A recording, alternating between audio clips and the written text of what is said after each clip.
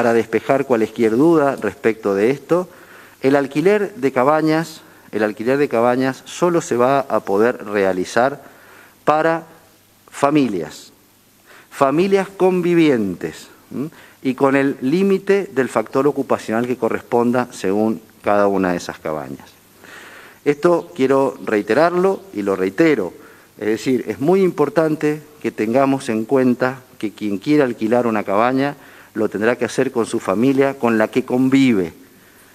y respetando el factor ocupacional de la cabaña que alquile en el caso de cada una de las familias.